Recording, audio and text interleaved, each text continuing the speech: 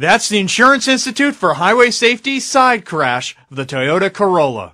The redesigned Corolla receives the Institute's top safety pick award, earning the highest score of good in the front, side, and rear tests.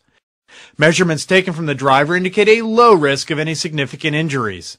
The head is protected in the side crash by the side airbag. The rear passenger could possibly suffer a fractured pelvis in a crash of this severity. Risk of other injuries is low.